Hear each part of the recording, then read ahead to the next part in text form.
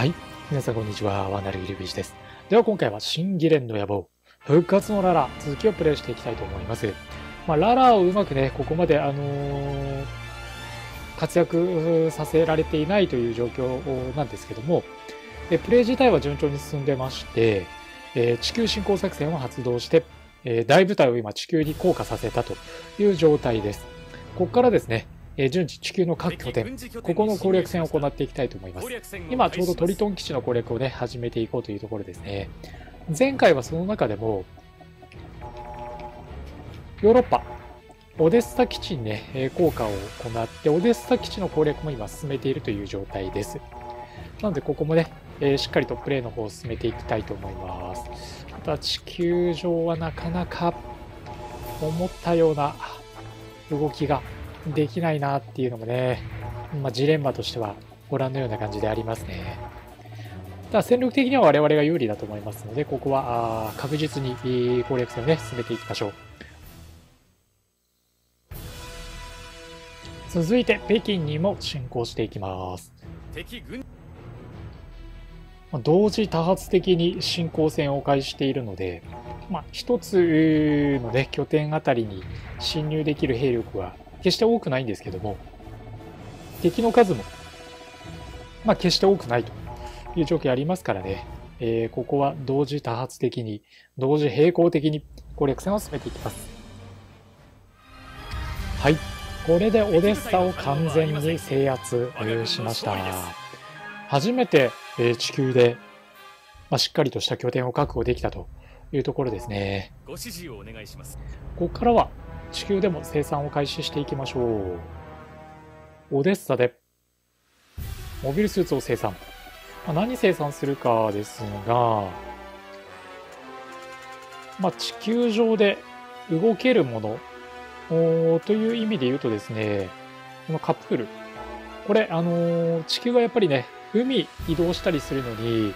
えー海の適性、水の適性必要なんですけども、このカップル結構ね、水の適性高くて、移動力も高い。地球上ではかなり使えるモビルスーツになってますので、これを作っていきます。あとガーゾームですね。これも、あの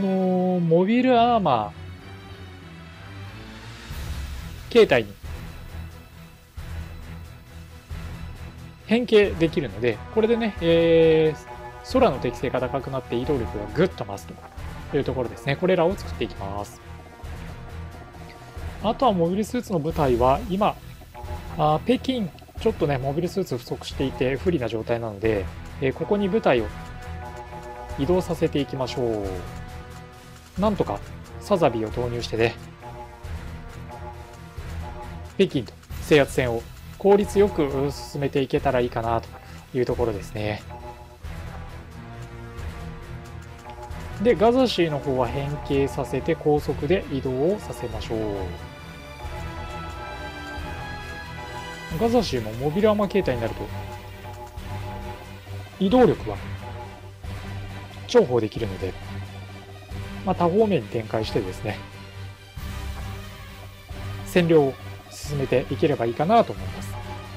では、ギラ動画を出していって、ここからベルファスト基地攻略の方ですね、進めていきましょう。ここも一応制圧をしながらですね、えー確実に、えー補給量つなげながら進んでいきましょう。では、ベルファスト基地にも侵入をしていきます。先に侵入してしまって、そっからですね、補給線をつなげていくっていうね、後追い型で補給線をつなげていきましょう。本来だったらね、先に補給線をつなげる方が優先だとは思うんですが、敵の部隊が今、ベルファストにあんまり入っていないっていう状況を確認しましたので、これであれば、あむしろ先に、侵入だけしてしまってですね、そこから安定を保った方がいいかなという判断ですね。ここもレーズーンをはじめ、ギラ動画の指揮官機を大量に持っている部隊なんで、まあ確実にね、進軍はできるかなというふうには思っています。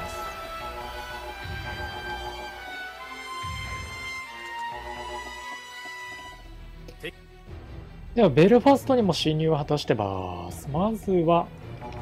上陸しちゃいましょう。上陸をして、えー、北に向けて進軍というルートですね。ベルファスタはこの後、後続で、えー、レズンとかも入ってきますので、えー、まあ、北側にね、敵の防衛施設固まってますけども、次回のために、補給ラインをね、しっかりつなげておきたいと思います。乗っちゃうことも重要ですからね、この補給ラインで。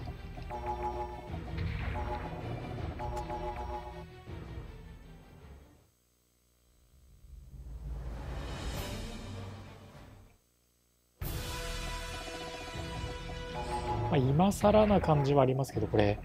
ムサカとかレウルーラとかも改造して移動力上げとけばよかったかもしれないですね。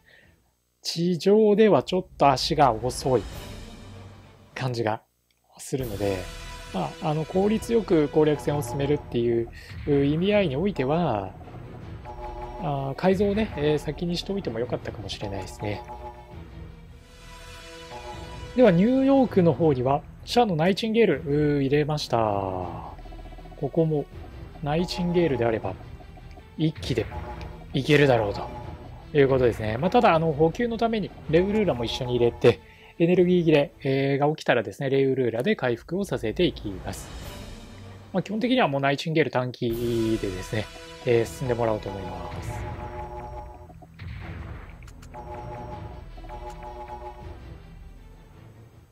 ナイチンゲール。まあ、アルパージールはね、えー、宇宙に残してますけども、ナイチンゲールと、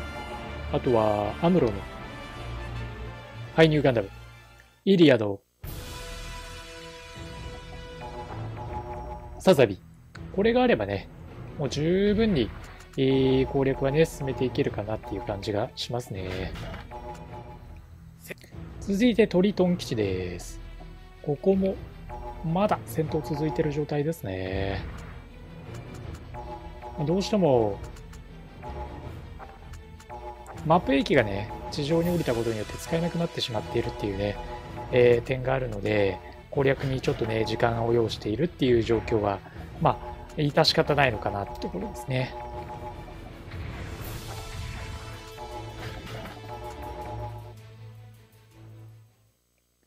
ただここもギュネイが頑張ってくれてるので、陥落は、まあ、時間の問題かなというふうには思っています。なので、ギュネイで押して、えー、確実にですね、数を削っていければいいかなと思います。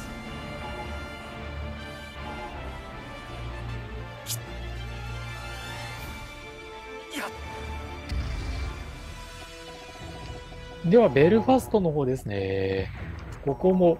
舞台を発進させていきましょう。まあ、足が遅いのはしょうがないとして、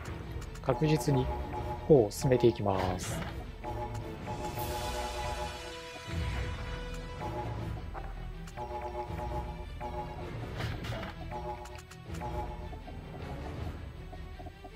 後続のね、えー、レズンとかも入ってきてますので、ここは数で勝負。まあ、質で勝負するのがサザビーであり、ハイニューであり、ナイチンゲールだと思うんですけど、ここはね、えー、物量で勝負しに行きましょう。まあ、とはいえレズンとかもいるのでね、質も、まあ、決して悪くはない状態です。情報部より報告します。我が軍の地球降下を察知した連邦政府高官の一部がコロニーへ亡命した模様です。彼らを摘発し粛清すれば国民からの支持は盤石となります。連邦高官の粛清。これは粛清しましょう。報告します。まあ、ただ、粛清することによって国際世論が著しく下がると困るのでちょっとそこは確認してから実施しましょうかあのお伝えしている通りですねあの一度国際世論が75を下回ってしまうとアムロが離脱してしまうので、まあ、そういう事態を避けたいというのがありますなので、えー、確認してから実施するかどうか確認しましょう。連邦政府高官の逮捕を踏み切るかどうかあという点ですね。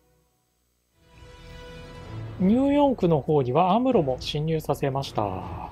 まあもう敵の数決して多くはないので、このまま押し込みでいいかなとは思いますが、一応、侵入させたという状態ですね。まあ、ニューヨーク、トリトン、え、キリマンジャロ、そしてベルファストと今、4つの基地に対して同時に攻撃を行ってますね。私は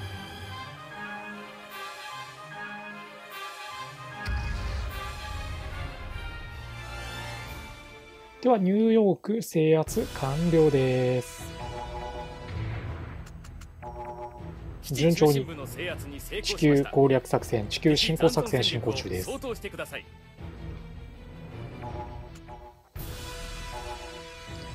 ドリトン基地も制圧完了ですね。ニューヨーク、ドリトン、そしてオデッサも制圧済みなので3つの拠点を制圧したという状態ですね。さらに今攻略中ですからね。このベルファストも今回落としてしまいたいですねまあレズンの働き以下にかかってるかなというふうには思います。レズンがうまく機能してくれればあるいはこのターンで攻略もできるかなっていうね、えー、そういう期待はありますね。では攻略進めていきます。